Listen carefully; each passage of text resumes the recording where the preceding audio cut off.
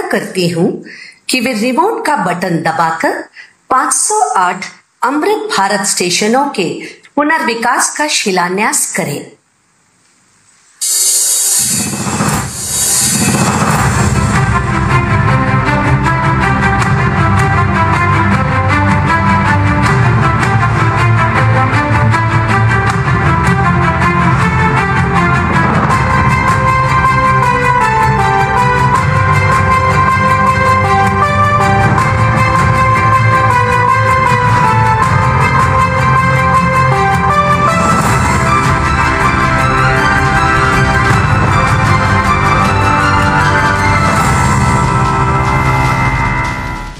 मैं आदरणीय प्रधानमंत्री जी से विनम्र निवेदन करती हूँ कि इस ऐतिहासिक अवसर पर अपने प्रेरणादायी उद्बोधन से हम सभी का मार्गदर्शन करें।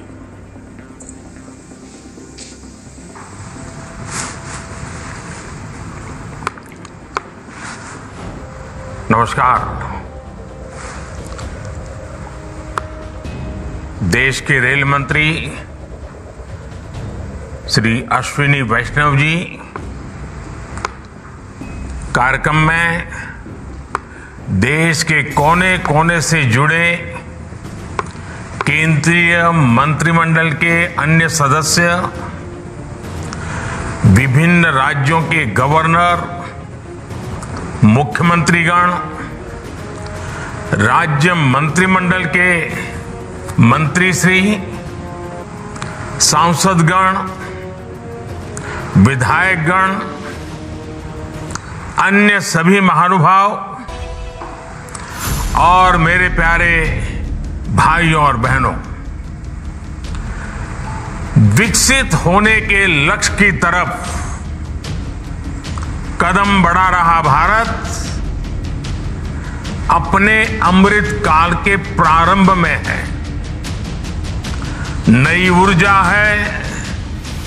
नई प्रेरणा है, नए संकल्प है।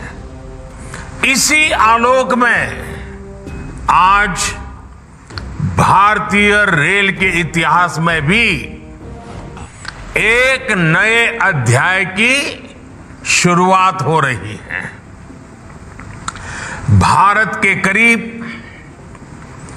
1300 प्रमुख रेलवे स्टेशन अब अमृत भारत रेलवे स्टेशन के तौर पर विकसित किए जाएँगे। उनका पुनर्विकास होगा। आधुनिकता के साथ होगा। इसमें से आज 508 अमृत भारत स्टेशनों के पुनर्निर्माण का काम शुरू हो रहा है। और इन 508 अमृत भारत स्टेशन के नवनिर्माण पर करीब पच्चीस हज़ार करोड़ रुपए खर्च किए जाएँगे। आप कल्पना कर सकते हैं, ये देश के इंफ्रास्ट्रक्चर के लिए रेलवे के लिए, और सबसे बड़ी बात है, मेरे देश के सामान्य नागरिकों के लिए ये कितना बड़ा अभियान होने वाला है।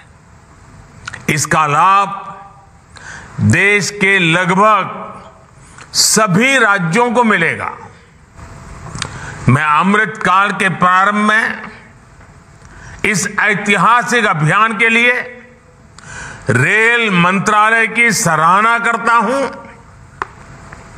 और सभी देशवासियों को बधाई देता हूँ।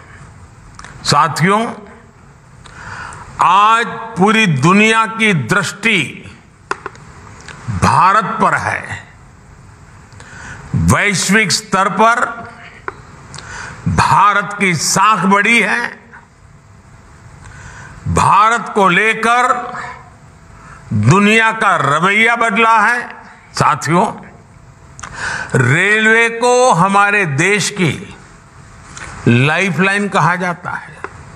लेकिन इसके साथ ही हमारे शहरों की पहचान भी शहर के रेलवे स्टेशन से जुड़ी होती है।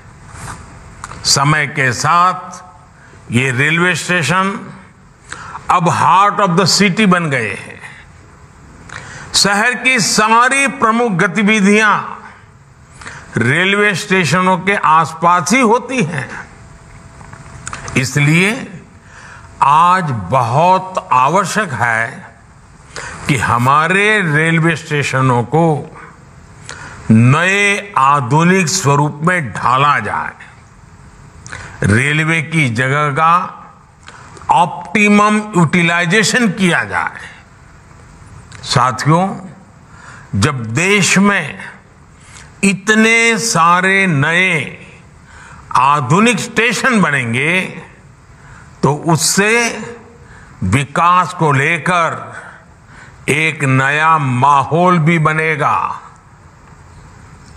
देसी, विदेशी, कोई भी पर्यटक, जब ट्रेन से इन आधुनिक स्टेशनों पर पहुंचेगा तो राज्य की आपके शहर की पहली तस्वीर उसे ज़रूर प्रभावित करेगी। वो यादगार बन जाती है। आधुनिक सेवाओं के कारण पर्यटन को बढ़ावा मिलेगा। स्टेशन के आसपास अच्छी व्यवस्थाएँ होने से आर्थिक गतिविधियों को भी बढ़ावा मिलेगा। साथ ही ज़िले की ब्रांडिंग भी होगी। साथियों, आज़ादी के अमृत काल में देश ने अपनी विरासत पर गर्व का भी संकल्प लिया है। ये अमृत रेलवे स्टेशन उसके भी प्रतीक बनेंगे। हमें गर्व से भर देंगे। इन स्टेशंस में देश की संस्कृति और स्थानीय विरासत की झलक दिखेगी। जैसे जयपुर रेलवे स्टेशन में हवा महल, आमेर फोर्ट जैसी राजस्थान की धरोहरों की झलक होगी। जम्मू कश्मीर का जम्मू तवी रेलवे स्टेशन प्रसिद्ध रघुनाथ मंदिर से प्रेरित होगा। नागालैंड के दिमापुर स्टेशन पर वहाँ की 16 जनजातियों की लोकल वास्तुकला दिखाई देगी। हर अमृत स्टेशन शहर की आधुनिक आकांक्षाओं और प्राचीन विरासत का प्रतीक बनेगा। देश के विभिन्न ऐतिहासिक स्थलों और तीर्थ स्थानों को जोड़ने के लिए इन दिनों देश में एक Bharat Gaurav Yatra train, Bharat Gaurav tourist train भी चले चल रही है। शायद आपके ध्यान में आया होगा, उसको भी मजबूती दी जा रही है। लोग आज देख रहे हैं कि देश में किस तरह रेलवे का कायाकल्प हो रहा है। मेट्रो का विस्तार हो रहा है। लोग आज देख रहे हैं कि देश में किस तरह एक के बाद एक नए एक्सप्रेसवे बनाए जा रहे हैं। लोग आज देख रहे हैं कि देश में किस तरह तेज़ी से नए नए एयरपोर्ट बनाए जा रहे हैं नए नए अस्पताल बनाए जा रहे हैं नए नए स्कूल बनाए जा रहे हैं। जब लोग इस तरह का बदलाव देखते हैं तो ये एहसास और मज़बूत होता है कि उनके पैसे से नए भारत का निर्माण हो रहा है। आपके बच्चों के उज्जवल भविष्य की गारंटी इन सब कामों में गारंटी है। हमें इस विश्वास को दिनों दिन और मज़बूत करना है। और भाई बहनों ये जो 508 रेलवे स्टेशनों का आधुनिकरण हुआ है ना, ये भी उसी दिशा में उठाया गया कदम है। मैं आपको विश्वास दिलाता हूँ, अमृत भारत स्टेशन भारतीय रेल के इस कायाकल्प को एक नई ऊंचाई देंगे। आओ, इस क्रांति के महीने में हम सभी हिंदुस्तानी नए संकल्पों के साथ 2047 में जब देश आज़ादी के 100 साल मनाएगा, भारत को विकसित बनाने के लिए एक नागरिक के नाते मेरी जो भी जिम्मेवारी है, उसको अवश्य पूर्ण करूँगा। इस संकल्प के साथ आप सबका बहुत बहुत धन्यवाद बहुत बहुत शुभकामनाएँ।